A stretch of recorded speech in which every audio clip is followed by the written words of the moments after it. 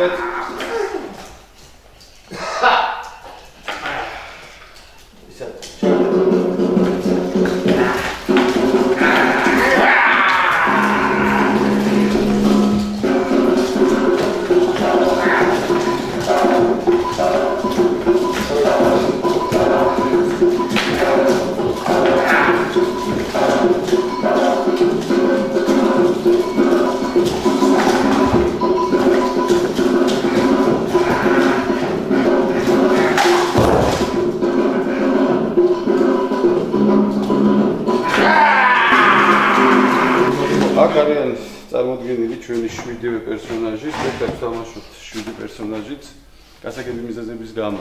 პინგვინიდან ყავს ორი ძირითადი ჩემი აზრით ჩვენი თავარი და ჩვენი კავარსკი მისი თანაშემწე მელმოს ალექს მარტის და გლორიას ალბათ ხამაც დიდი წარდგენა არ ჭირდება უბრალოდ რამდენად გვანან და ხარისხიანი ეს უკვე მაყურებელმა უნდა გადაწყვეტოს და რამდენად მოქმედი არიან და რამდენად ასრულებენ თავიანთ ფუნქციებს რაც შეეხება ბატონ ტურღონ მეოთხეს. ტურღონ მეოთხეს ჩვენ დარქმეულია სპექტაკლში აქვე, ეს არის ბატონ პატრონი კონძული, სადაც მოხდებიან ჩვენი სრული ბრძანებელი და დიქტატორი, რომელსაც ჩამოაგდებენ ჩვენი პერსონაჟები და გააგდებენ აი ამ კონძულიდან. რა ქვია, ჩვენ რო ქვია გაიმეოროთ?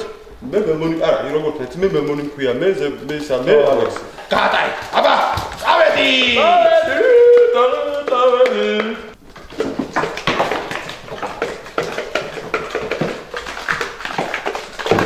ერთ-ერთი ის პერსონაჟი, რომელიც ბავშვებს განსაკუთრებით უყვარს. ციტრონი, ციტრონი უნდა დავიცვალ რა, ბატონე, მოგები მაგრამ.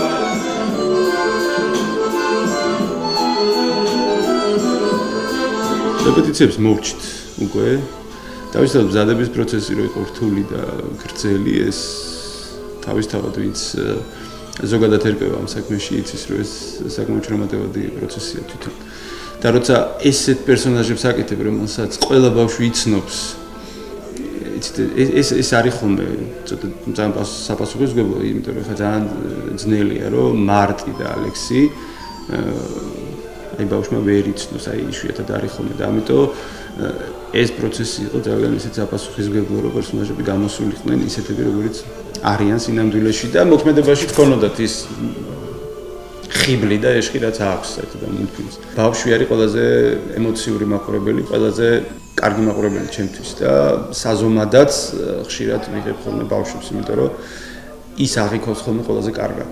დაპასუხისგებლოა თავისთავად ისე ვიქიდან გამომდინარე, რომ ეს არის თემა, რომელიც ყოველთვის კარგად არის ნაცნობი რა და როცა მოდის ბავშვი ან თუნდაც მოზარდი ამ სპექტაკლის სანახავად, ის მოდის იმ ფილმის სანახავად, ხო? ამთვის ბოლომდე უკვე დაიგეგმება ყველა შემთხვევაში უკვე ალბათ ჩაეშვება პროგრამაში. პირველ ეტაპზე ეს ჩაეშვება ჩაოლებრივი შეთავაზებები შეთავაზების სახით, როგორც აქვს ბავშვთა ცენტრებს, ანუ დაბადების დღეებზე იქნება წარმოდგენილი სურვილის სურვილის შესაბამისად შეარჩევს მშობელი სპექტაკლი უნდა თუ არა დაბადების დღეზე. ხოლო შემდეგ ეტაპზე უკვე ჩვენ გეგმავთ რომ გავყიდოთ ბილეთები და ჩაოლებრივად ვანახოთ უკვე როგორც ესეთი წარმოდგენილი სპექტაკლი ბავშვთა ცენტრ მადაგასკარში. გაიხები ამ კუნძულიდან. რადგან ეს ამასოდეს მოხდება? თანახმავა. ამ წარმოდგენებს მოვეკიდები ძალიან დიდი პასუხისგებლობით, იმიტომ რომ გარდა იმისა, რომ ჩვენ ამაში ფულს ვიხდიან და გარდა იმისა, რომ ეს არის ბიზნესი, ეს არის ბავშვის პირველი ურთიერთობა თეატრთან. ბავშვის პირველი ურთიერთობა ხელოვნებასთან, შემოქმედებასთან და მის გემოვნებასთან, როგორც ჩვენ საქმე. Thank you.